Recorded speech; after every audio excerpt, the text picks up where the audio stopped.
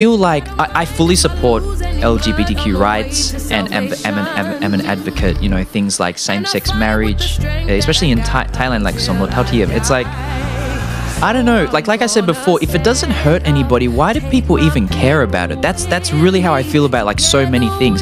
These people out there saying that are against it, it doesn't make sense to me.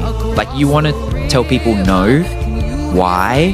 Do you know what I mean? Like there's no argument against it, so why not just let people have what they want? Do you know what I mean? Like for example, if a totally random issue, but like let's just say you talk about gun rights, for example.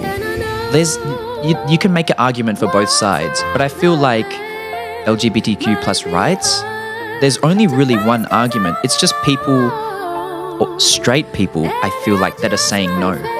And it's like, if you're not even a part of the community, why you want to choose stuff for other people?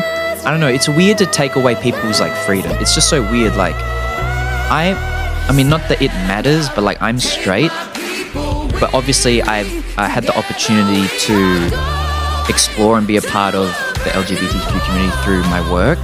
And also working in the entertainment industry, especially in Thailand, you know, you meet all sorts of people, you know, straight, bi, you know, uh, trans people. And it's like, you work with these people, you're friends with these people. Why would you want to deny them? Yeah, it's just, it's just weird. It doesn't really make any sense to me, like the argument against.